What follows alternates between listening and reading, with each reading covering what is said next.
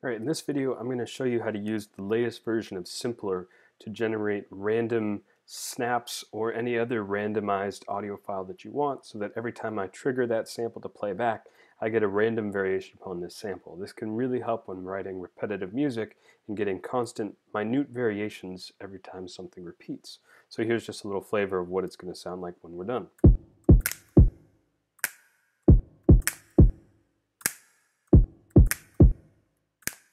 First step is to record in an audio sample of whatever it is that I'm looking for and to, to try and create as much variation in that sample as possible. So I'm going to go to one of these empty audio tracks. I'm going to rename this one as snaps. Then I'm going to check my levels when I snap. I see I'm getting a little distortion. I'm using my built-in microphone. So I'm going to go to my system preferences to attenuate that input just a little bit. So let's bring that down just a touch something like that. That looks better. Great. Now let's record enable this track. I'm going to leave monitoring set to off. I don't need to hear the input while I'm doing this.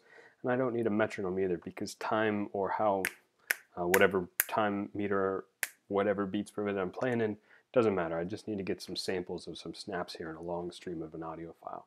So I'm going to click record and lay down some snaps.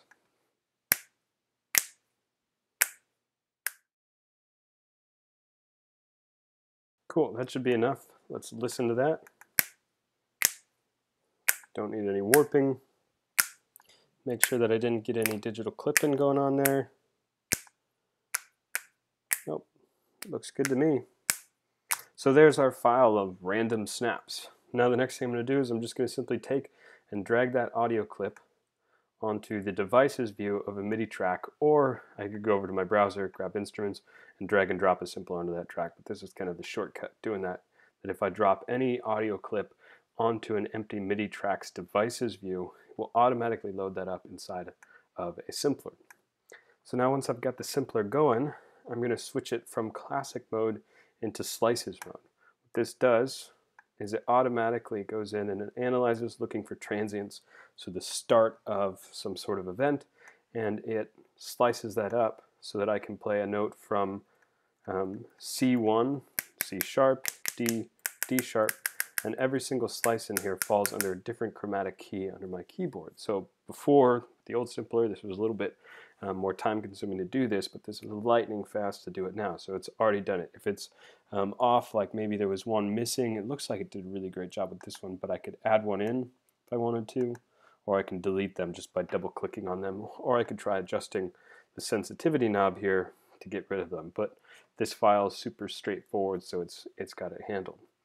So the next thing I want to do is to load this up inside of a drum rack. So I could really quickly and easily do that by control clicking on the title bar, going up to group to drum rack. You'll see it puts it inside of a drum rack. Let's rename that as snaps. Let's slide that over to the D1. It's just where I think of my snaps being, usually around there. So now you'll notice that when I play or trigger that D1, none of my slices are triggered. And that's because of the way that drum rack is set up to behave by default. If I expose the rack section of the drum rack, you can see down here I get three more options for available visibility of parameters. What I want to expose is the inputs and the outputs for every given chain. Right now we've only got one chain inside of our drum rack. On the snaps chain here you can see that this pad here or this chain receives or is triggered by a D1. So when I play a D1, let's move down, I'm hitting that D1, but you can see what it plays is it translates that D1 into a C3. And what we know is that that first slice there is going to be C1, this is going to be C sharp 1, D1, so on and so forth up chromatically. So we're already well above the range of this mode, the slicing mode within Simpler. So I want to bring this all the way down to C1. Now when I trigger that, that's what we get. But let's come in and let's edit this so that our first slice isn't that silence, but rather that first snap. So now what I'm going to do is uh, every time I trigger this sample or trigger this slot within my drum rack, I want to get a different random slot or different random slice or different random snap to play back. So what I'm going to do is go to my browser, MIDI effects, grab the random, and drag and drop it onto that pad just before that simpler. And the next thing is I'm going to count how many slices I've got. 1, 2, 3, 4, 5, 6, 7, 8, 9, 10, 11, 12, 13, 14, 15, 16, 17, 18, 19. And then I'm going to make the choices for my random one less than the number of slices I have. So the way the random works is it's going to generate a random note every time it receives a note. And it's going to either give me that note or plus the number of the scale that we've set here. So I've got plus uh, any random value that could be up to 18 single steps or semitones above the note that it's received. So if I increase the chance here that we're going to get a random note, I play that note, you can see we always get another random note.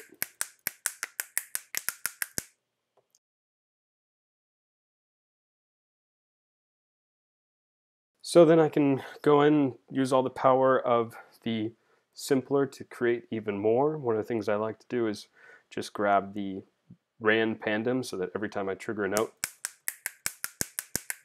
it randomly places that somewhere else. Another thing is to go in and group that device that's within that pad in the drum rack. So when I group that, it means now I've got another rack inside of my drum rack so I can come in and duplicate now I've got two of that same instrument with that same sample loaded up inside of it with that same MIDI effect. Both of those with that random randomized panning. So now when I trigger this, you'll hear that I'm getting two different random snaps, each randomly panned left or right. So as I start to duplicate this out, let's go four of them. Start to get some random things happening. So the next thing is we should build up this drum rack. So let's go to our samples tab, search for kick, drop that in there.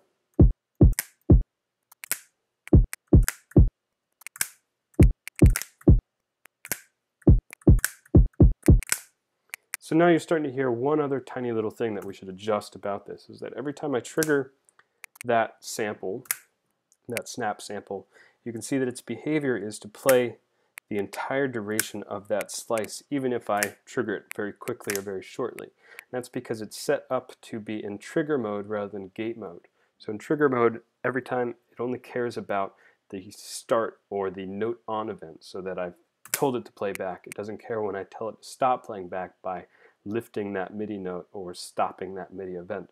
So if I switch it into gate mode, now I've got to do it on all four because I've got to rack going here,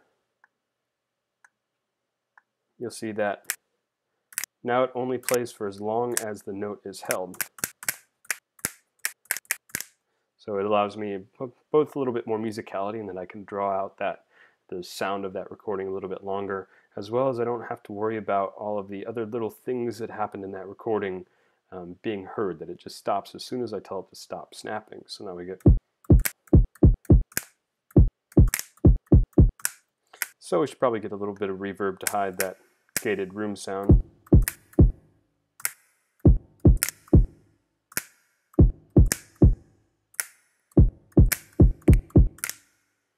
But there you get the basic concept. So you can use this for anything. It doesn't have to be just snaps. It could be any audio file you want to, uh, that you want to randomize the playback so you get different samples every single time you trigger that same MIDI event. So hope this helps. Hope this inspires you guys a little bit and good luck making music.